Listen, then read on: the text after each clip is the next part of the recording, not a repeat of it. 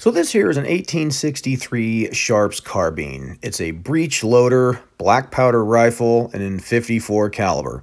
And it's made to take paper cartridges, but I'll get to that in a minute. So this gun belongs to a friend of mine and he uses it for reenacting and every time I've shot it with him it's performed just terribly and I hate to use the phrase but you really can't hit the broadside of a barn with it. I hate that cliche. The accuracy is just terrible. And so I asked him I says hey you know I'd like to take it and you know see if I can figure out what's going on with it so he let me take it and to cut to the chase the way I got it to shoot well was to stop using paper cartridges and we just load loose ammunition. So you open the breech, stuff the bullet in the chamber, pour the powder on top of it, close the breech, cap it, and shoot it.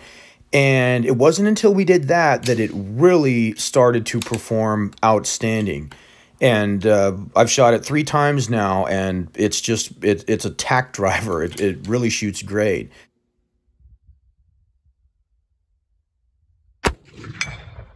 this fucker is dialed. This set, man. Woo. Really show off here.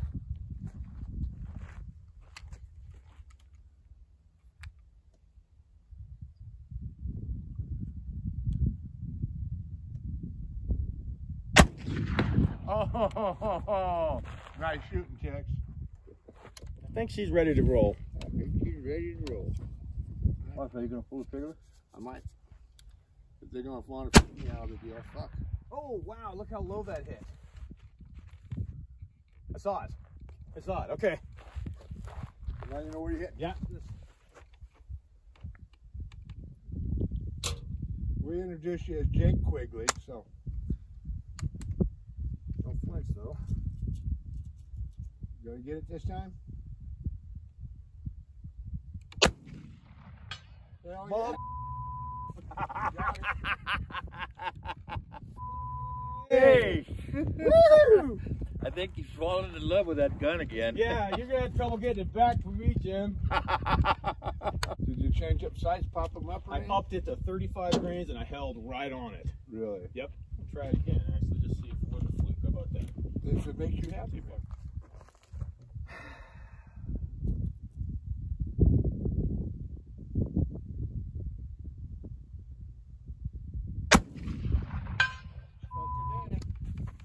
Well, it wasn't a fluke. 35 grains. and you got it on camera. Twice! Nice. How far is that? 100 and... 145 yard? Here, I'll check.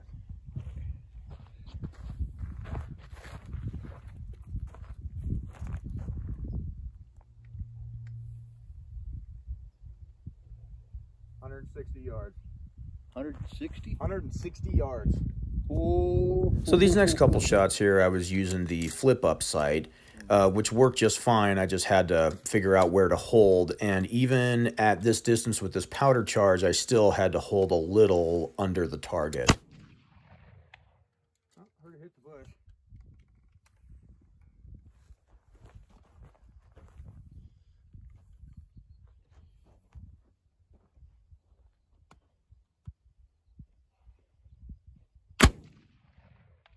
heard it hit the bush. Hit it. That's a damn good hit. Not bad, young man. Where were we aiming with that? Low. I was aiming at like halfway down the target. nice. Look, Jimmy, you don't want this thing, right? that, so that was the ladder sight all the way flipped up and brought all brought the thing all, the way, down. and I still had to aim eh, halfway down the stand. That was cool. That being said, So this thing was shooting so damn good, I decided to really push my luck and go all the way out to 220 yards. hell yeah, you hit it. 200 fucking yards. 220, I believe it was actually, but who's counting? Damn. And then one more shot just to make sure it wasn't pure luck. Son of a bitch.